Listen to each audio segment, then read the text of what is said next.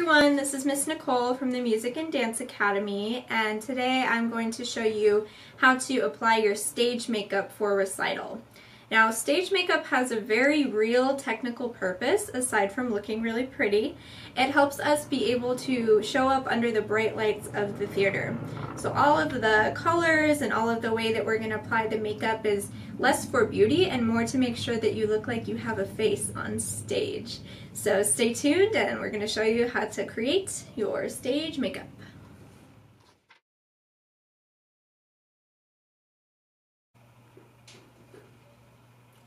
Okay, so you're first going to start with a clean, dry face. Um, the first thing that you're going to want to put on is your foundation or your base makeup.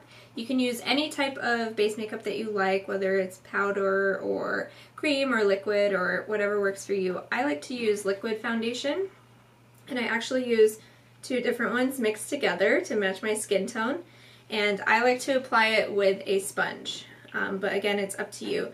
The point of the base makeup is to um, camouflage the skin tone, even the skin tone, and also give it a nice matte finish so that when the lights are shining on your face, it's not super bright. So I'm going to go ahead and apply my foundation now. And like I said, I like to mix two colors, so that's what I'm going to do first.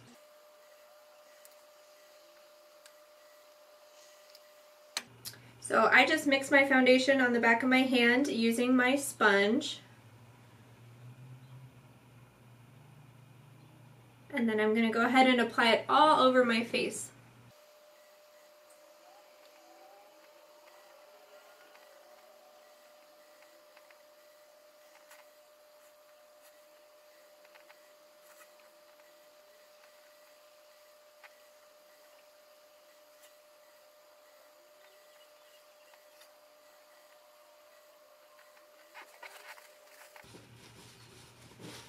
Okay, so now that I've applied some foundation to even out my skin tone, um, and if you noticed, I also used my sponge to blend it down into my neck. That's super important so we don't have a harsh line of foundation. And it, it's really important that you pick a foundation that actually matches your skin tone. So moms that might be doing makeup for their kiddos, um, make sure that they don't look orange with their foundation. So pick one that actually will work for them.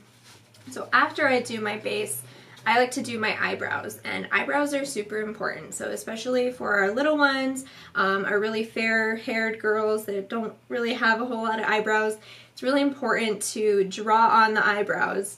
It might look really funny um, but you're gonna look funnier on stage if you if you don't have eyebrows. They're gonna disappear with the bright lights. So it's really important to fill those eyebrows in you can use anything that you want for this. There's a lot of different products out there for eyebrows. Um, just a straight up eyebrow pencil works really great. I personally, uh, I use this every day. I use this um, brow kit that has pomade and powder um, to fill in my eyebrows. So I'm going to go ahead and do that now.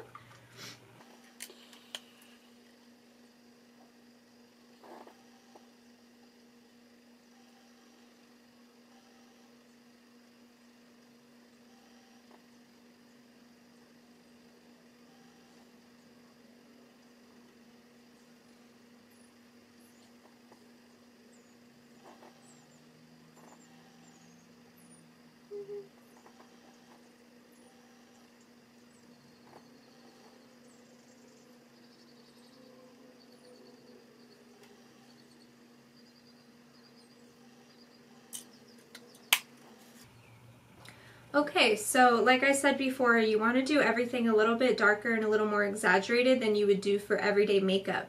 Um, so if you feel like you look crazy with your dark eyebrows, you're probably you're probably good. You've probably done what you need to do. Um, so fill in those eyebrows. That's your second step. Third step, so completely optional. Um, a lot of our older dancers choose to wear fake eyelashes for the performance. Um, this is great if you're comfortable doing it. If you're not, it's okay. You don't have to attempt. I would be very impressed if um, someone could get fake eyelashes on a three-year-old. I would probably give you an award um, because it's hard to even put them on yourself. So I'm actually not going to put these on right now. It usually takes me about 20 tries to get them on at home. I usually you know, glue my eyes shut in the process. So I'm not gonna uh, do that on camera today, but if you want to wear fake eyelashes, you want to do that as your third step before you put anything else on the eye like eyeshadow. Um, otherwise, they're not gonna stick to your eyes properly. So fake eyelashes are an option. After you've done that, you're going to do your eyeshadow. So we want browns for our eyeshadow. The most important thing, they sell a lot of different palettes like this, is that you have a light color, a medium color, and a dark color. Um, and we want brown for stage. The reason for that is because we're using a lot of colored lights and the brown is the best color um, to bring out everybody's eyes. So please use brown. I found this palette at Target. It's the e.l.f. brand and it has a lot of eyeshadows uh, in the brown shade that would suit for stage makeup. That's why I bought it. Um, so you don't need anything fancy. They sell a lot of like tri-color eyeshadow palettes that you can get. So first you're going to start with a your medium brown color. So I'm going to use this one right here. It's a medium brown. And I'm just going to apply that on the lid all over.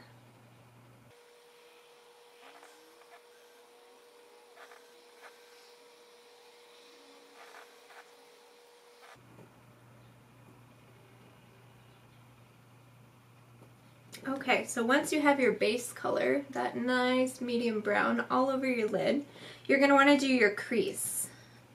So for the crease, you're going to use a dark brown shade um, to really bring out the eye. So you're going to take your brush and load it up. And then you're just going to apply that shadow in the crease. That's where my eyelid creases when I go like this. It's the line across your eye.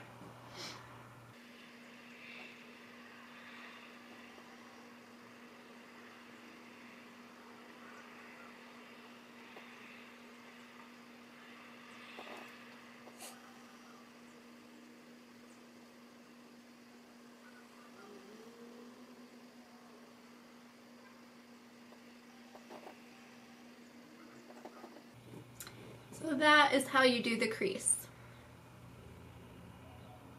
Now with your lightest color, this should be almost like a white color. You can do kind of like a shimmery champagne if you want.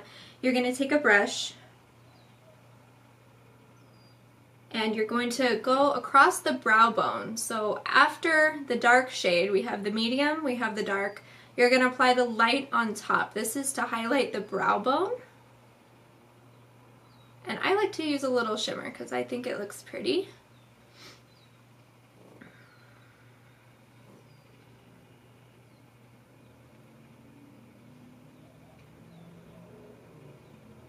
And that is your basic eyeshadow for stage makeup. So just to review, we have the medium color all over the lid. We have the dark color just in the crease. And then we have the lightest color up on our brow bone to define the eye. Okay, so after that, you're gonna move on to eyeliner. Um, what we like to use for stage is a lot more dramatic than you're probably using at home. Um, we want a nice wing on the top lid. Um, and then under eye eyeliner is up to you. Personally, I think it makes your eyes look smaller, um, but if you like to do the lower lid liner as well, you can do that. Um, there's two different options. I would say if you're newer at doing the wig and eyeliner, I would use a pencil. Um, and if you're a little more experienced, I like the liquid eyeliner pencils and they actually come with ones that have kind of like a felt marker tip. I think that that's really good um, for helping you draw a wing. So I'm going to go ahead and draw my wings. I'm going to hope I do it right the first time. If you don't, that's okay. Um, a Q-tip will be your friend. You can just erase and start again. So I'm going to give it a shot.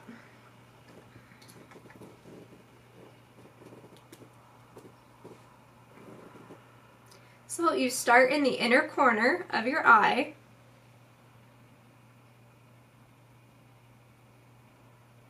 And then you just trace along the lash line.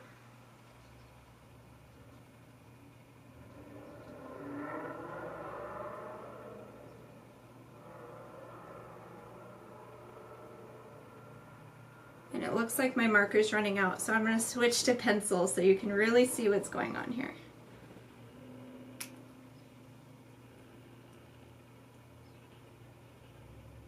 Okay, so I have my pencil. Let's try this again. So you start at the inner corner.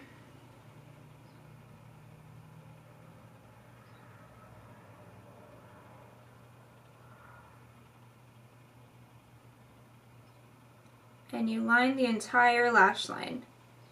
If you did choose to wear fake eyelashes, this is a good time to color in any spaces between your eyelashes and the fake ones. You want to have one black line.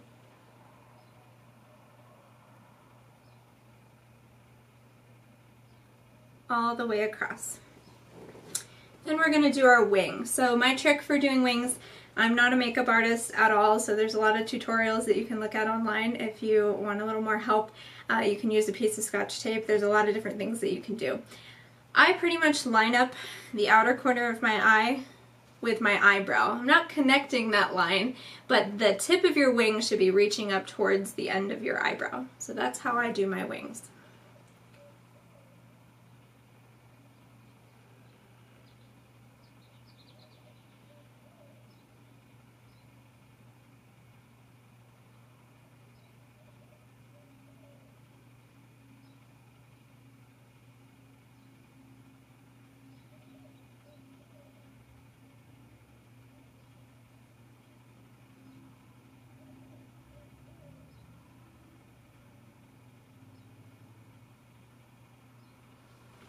So that's how I draw my wing.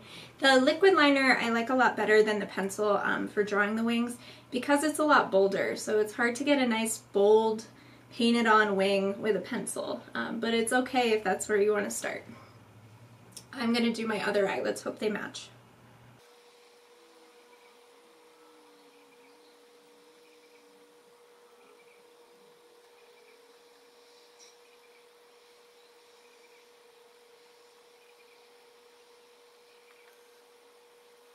My second one, definitely not as good as the first, but you get the idea. So after you do your eyeliner, then you're going to add some mascara. And even if you are wearing fake eyelashes, you want to use mascara so that your natural eyelashes blend into the fake eyelashes and it all looks like one thing. Instead of having kind of two layers of eyelashes, it's one thing.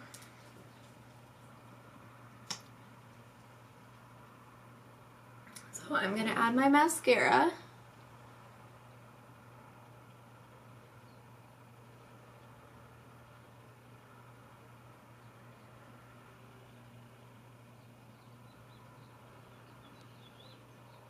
And I like to do a little bit on the lower lid, not too much though, because um, I find when I'm getting really sweaty it starts to run, so just a little bit.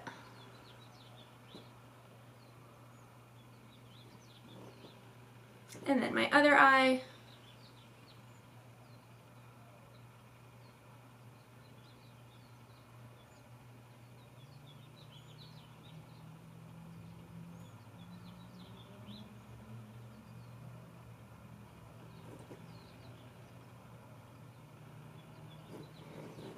Okay.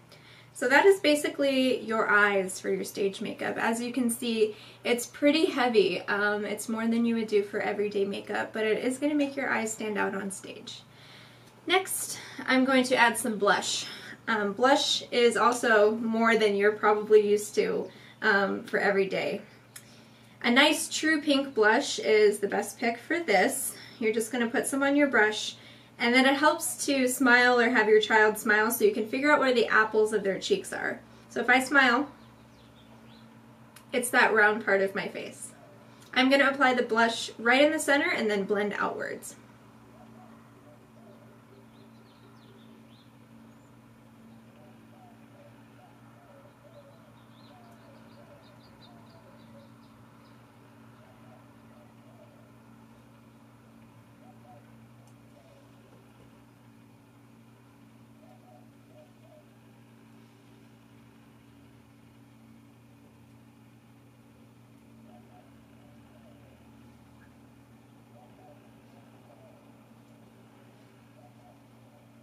And that is it for blush. So a lot more than I would wear normally, but it's going to help bring out your cheeks on stage, so it's super important.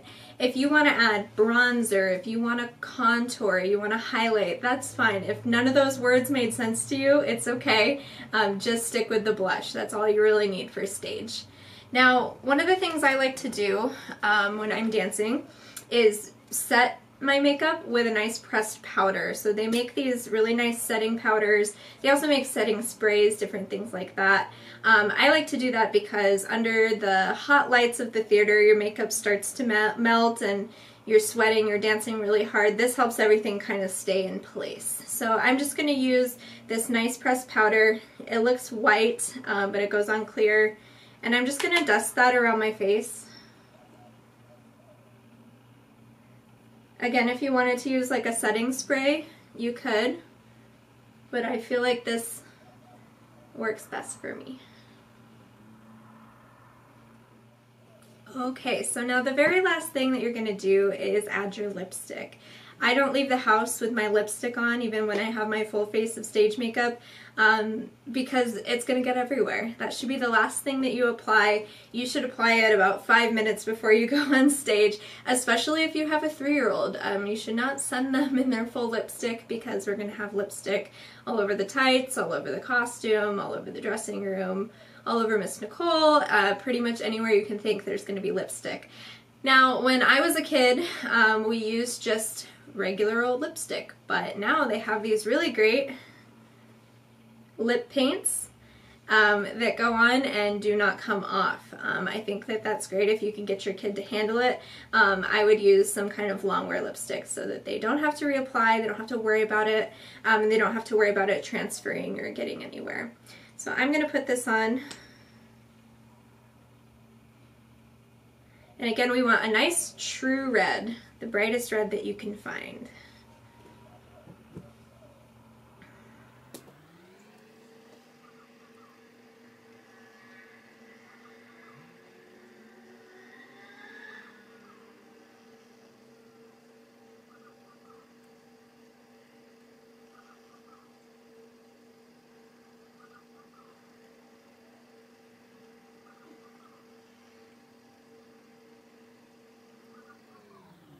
Okay, and that is your finished product of your stage makeup for recital. Now just a note um, for the little ones. Um, I understand that maybe only part of this is going to make it on their face the day of. Um, I get that. It's like trying to put you know, trying to make an angry cat sit still sometimes. Um, just do the best you can. Um, and for the little, little ones, I'm talking like three and under, a little bit lighter than what you see here is fine, um, especially on the eyes. And that's probably where you're going to struggle getting it on them anyway. Um, but make sure they have their lipstick and their blush, um, and they will be fine. Um, again, if you have any questions or if there's a specific special makeup uh, that your that your instructor wants for your costume, um, please talk to them. We've all done this since we were little ones ourselves, so we have a lot of experience with stage makeup. Thank you, and we'll see you at the big day.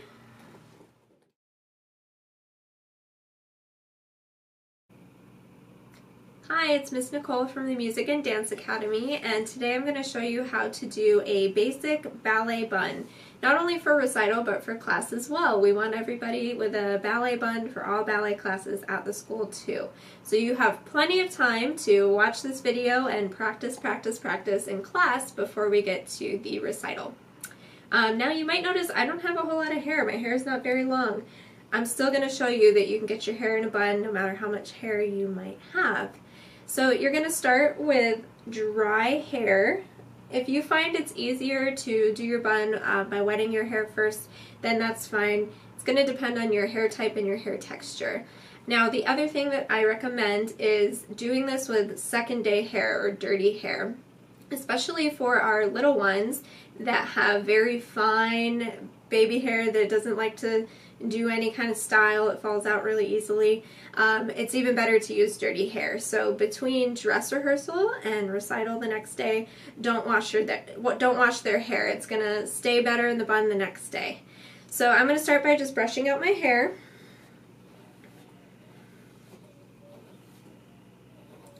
and sweeping it back. For our basic ballet bun, we don't want to have a part. The reason for that is so we can all look nice and uniform.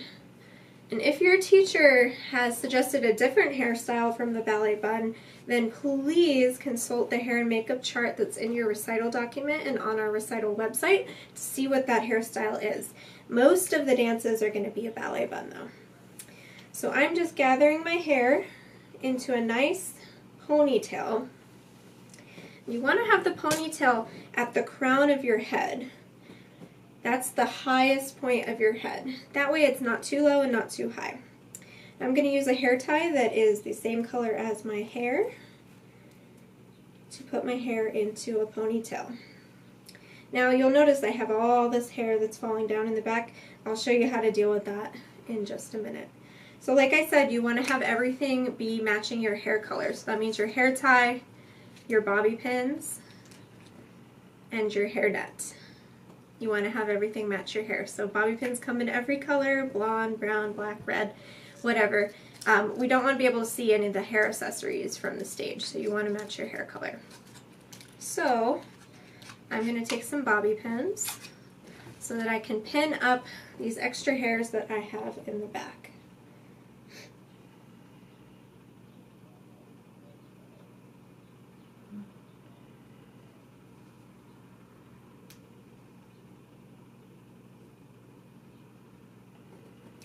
And I like to, whenever I'm pinning something up, I like to put my bobby pins in an X formation. They hold a little bit better when you cross them over one another.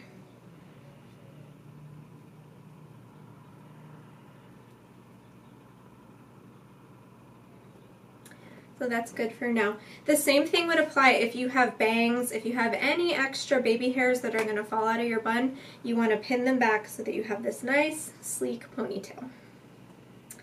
Next, I'm going to make my actual bun. So no matter how long your hair is, you're going to start by twisting your hair and wrapping it around. I like to pin as I go. So I like to start putting bobby pins in my bun as I wrap my hair around. Now like I said, I did my ponytail at the crown of my head. That's so that you can still see the top of your ballet bun from the front, but it's not right on top of your head. So I'm just twisting my hair and pinning it as I go.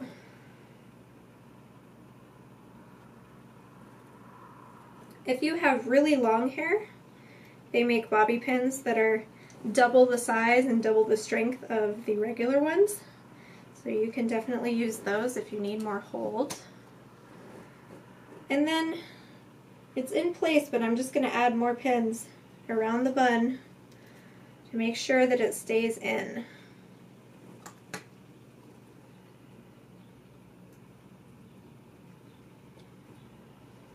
And that is how we basically shape our bun. A lot of people like to use the bun maker. Um, I don't have a problem with this. I personally don't like it though.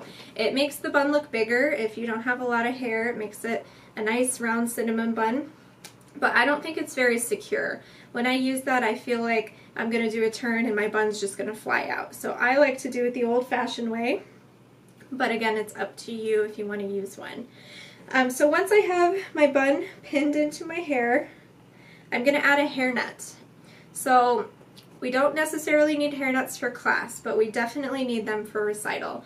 And the reason for that is, as you can see, I have all these little sprouting baby hairs popping out of my bun. The hairnet is going to manage all of those. Make sure again the hairnet is the appropriate color for your hair um, and you're going to put it just around the bun. I had a dad do hair for recital once and he put the hairnet on like a lunch lady. And while that was really cute, that's not what we need for recital. So you're gonna wrap it around your bun just as many times as it can fit. Just like that. So that'll keep your bun from sprouting any little sprouts as you go. Now, for class, you definitely do not need to use hairspray or gel or mousse, but for the recital, you absolutely need to. And the reason for that is look at all these little baby hairs that I have. When I'm on stage, and I'm lit up by a bright light, I'm going to look like Medusa unless I take care of all of these baby hairs. So I personally like hairspray. Some people like gel, some people like mousse. It doesn't matter. And you're just going to spray all along your hair, slicking it back as you go. Around the ears, I have a lot of baby hairs there. And especially down here,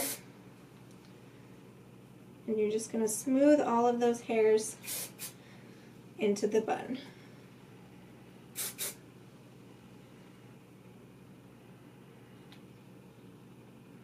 And trust me, if your kid doesn't have enough hairspray, I always bring extra and I will hit them before they go on stage.